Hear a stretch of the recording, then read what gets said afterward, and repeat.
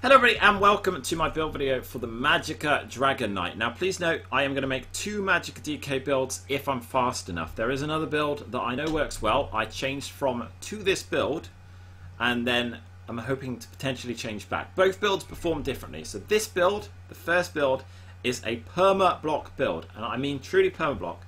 A lot of people say different classes are perma blocking when in fact they're just blocking the big hits fairly often. No, this build you'll never ever let go of right click. I will sit in every fight like that. I will always be blocking. There is no time my block will go down in the fight. Well, not entirely true. If I'm out of position, I'll move to position so I've got something to move around and then block. But all of our survivability comes from this blocked mitigation. It's a lot of mitigation as a DK. I think it's 70% when you include the passives for blocking. And then we've got some heals coming in on top of that and our damage is going to eat through a group. So this is an AoE spec looking to burst down a group of people in a high tank position. There are two versions of the same build. I will explain the sets for both. The skill bar and the playstyle is identical for both. There's just a difference in the playstyle. The first is slightly more damage, slightly lower survivability. The second is practically unkillable, but is going to have less damage. Still enough damage against some targets, but it is notably less damage. I'm on that setup first. So, the skills on the lower damage are as follows. Now, the Magicka, I actually don't know what's going on here. That should be 33025. For some bizarre reason, when I left one keep, it dropped by 525, and neither me nor the stream has worked out what the fuck happened. So, Lo and behold, it says 32 and a half. That's 33025 Magicka. Not that it makes a great deal of difference. Spell damage 2014 and Magicka recovery 1.2k. We're in heavy armor. This is again a pure tanky build to AoE groups down. 33k mag and 2k spell damage is enough. Yes. It's lower than some builds, but it's enough. Our max health 29k nearly and I'm max stam 16752. What's important about that is with 4 triglyphs and 5-2 heavy you're always going to have 14k stamina. I think it's 14056 rings a bell but just over 14k stamina in no CP which puts you in a nice spot. So I pretty much always do that now. Small pieces, Magicka, big pieces, try. That does depend on the build slightly though. Our sets are as follows. 2 Grothdarr. This is a nice AoE damage proc set hits very hard. Why not Bloodspawn? We're going to cover that in a sec. Grothdarr is hands down the best sustain set on a Magicka DK, and it's going to work out to be the best damage set on a Magicka DK in AoE. But by far the best sustain set for a Magicka Nightblade, and I'll explain that. Our second set, using exactly the same source of sustain, is Leeching. The stats on this are horrendous. The 5 piece is not terrible. It actually does provide a decent amount of healing and hits pretty hard. But this set is the key to having true permablock in this patch because leeching is currently direct damage which means that with a charged Destro, which we're about to show, we are guaranteed a status proc of poison. Grothdarr is direct fire damage, we are guaranteed a status effect of burning, and when we proc both of those, we get 500 magicka and 500 stamina back every single tick. If we have 10 people sitting in our leeching and our Grothdarr, we get 500 magicka per them every second, guaranteed. It is an enormous amount of sustain from both sets, and it's coming in while blocking, so you can block any size group. Does not matter how many people there are. A thousand people, you will not run out of stamina unless it's all gone in one hit, because leeching will bring it all back, and your magicka is sustained by Grothdarr. It's a really cheeky way of using the sustain passive, though leeching gets nerfed next patch, I believe. It doesn't matter too much because there is a new poison set coming out that will do exactly the same. Our final set in the lower damage version of the build is Hitty. This is going to be on your front bar only. We've explained this on our Magplar build, but essentially it provides a really nice heal over time and it gives us some recovery, which we do sometimes lack in this playstyle.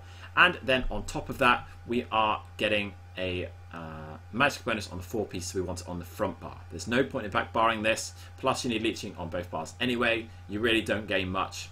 You could slot a willpower staff on the front bar. Problem is, all your heals should be on the front bar as a DK, unless you're running a resto, but we're not.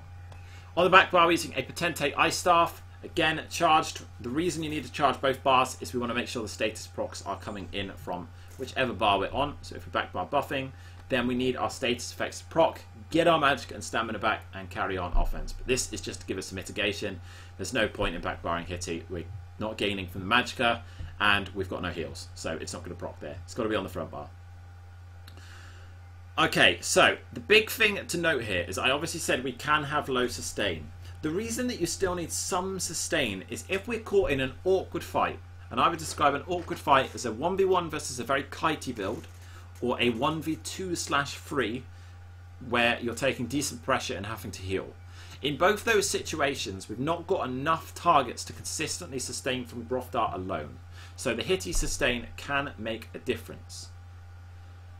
This is the tankiest setup. Now the higher damage setup is using Elfbane as follows. This will take me a sec to set up. And I have just realised, guys, that the entire time I was using light Grothdarr and I should have been in heavy in that setup. If you use the hitty setup, you should be in 5 heavy, 2 light. Light slash light gloves. That explains why I kept fucking lacking healing. Ah, oh, that makes sense. That explains where the Magicka went. okay then, that should be too heavy. That should be heavy, heavy, heavy. In the leeching setup, uh, sorry, in the high damage setup, now we run light. We run light here and our 5 heavy come here because our second set is Elfbane and Elfbane only comes in heavy. So we bang these pieces on.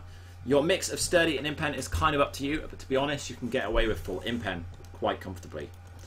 Uh, we then slot a leeching staff on the front. You could slot an Elfbane as long as you're double barring both sets. That's really important. I've got to find the rest of my Elfbane now, which is kind of unfortunate. I think it's the boots. What a fail. It's the okay, it's the legs. There we go. 5-5. So this setup went up to 34k Magicka and 2.3k spell damage. Our health goes higher, stamina the same. But what's so nice about this setup is although our regen now plummets to 750, Elfbane doubles the duration of Grothdarr. So we're again increasing the amount of magic return we get from these status effects. More than enough to sustain in almost any fight. It's a very nice sustain. The only issue you can have now using Elfbane is you no longer have a healer over time, which means that you're going to take pretty high pressure in blocks still if you get zerged down, and then you're vulnerable to simply getting killed through your block by a large group. There are ways to get around that, most notably is to nuke, but another really good way is to use corrosive armor if you do like that on the back bar, because we get an increased duration of that as well to 18 seconds. That is a long time of being immortal, essentially. So that is another way around it. Would I use it in this setup? Nope, because there's even better, which is Banner. Increased duration on that makes it a 34 second movable defile ultimate with good damage. So strong. But we'll move on to skills now. We've explained both setups. Obviously, which you use comes down to your preference. Try them briefly in next patch because I'm not 100% sure how they change too much. Front bar skills are Draw Essence. Sadly, this is a mandatory skill on any AoE tank tanky setup. You have to have it because otherwise your healing is poor. DK healing is not the best, and you need this AoE heal when you get piled down. Dragon Blood is not going to cut it, but it's also really nice pressure, and if you get enough targets on you, it's essentially free because you get a magic return based on each target hit. So against large groups, this will fully sustain you even without anything else.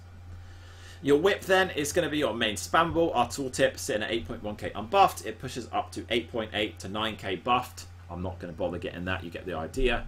Um, in the other setup, it's going to be 8.6k, so 200 less in the hitty setup. Now, I prefer Flames of Oblivion in this patch. I did use Cauterize last patch, even though I obviously wasn't making YouTube videos at that point.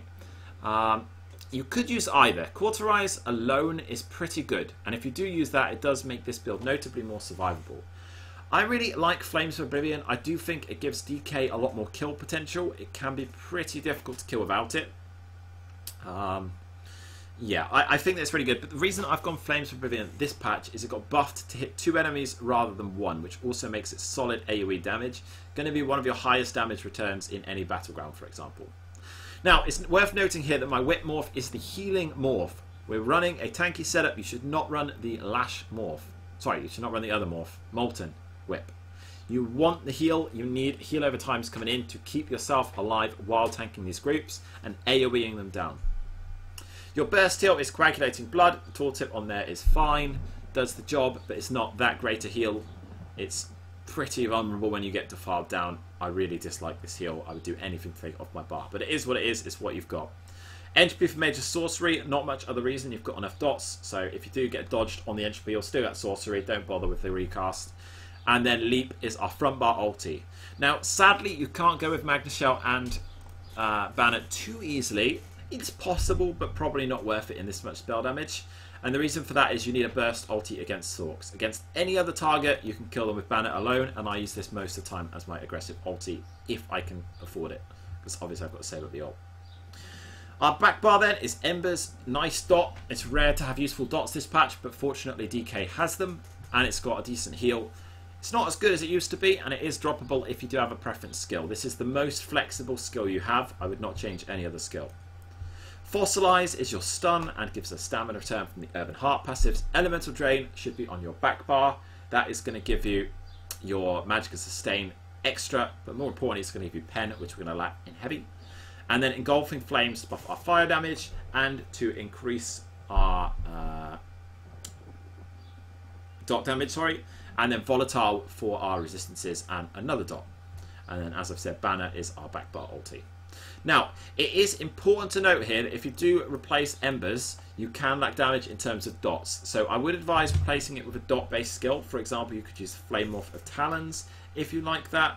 Uh, you could use a Destro skill. Ice Blockade is pretty good. Those sort of skills you're going for. But if you truly are not alone, you could go for Cinderstorm and that is a very big heal over time still. It's extremely expensive though, so you have to use it after your potion passive in the CP. It's not terrible if you use it then, otherwise wouldn't touch it with a barge pole. But it's up to you. I believe this skill bar is best, but if you do prefer another one, feel free to go for it. It's worth noting our potion as well. This is not a typical tripod, though if that is all you can afford, go for it. Now my magic is fixed. I don't know what's going on. No, I've lost another 500 in the other setup. What is going on today? That has gone down again. Is it going on my back bar? Yeah, okay, my entropy's scuffed. That's where the magic is going. What a stupid game. Um, now I know what the magic is doing. Entropy's bugged and it's giving me the stats on the back bar. That explains why I've lost 600 magicka.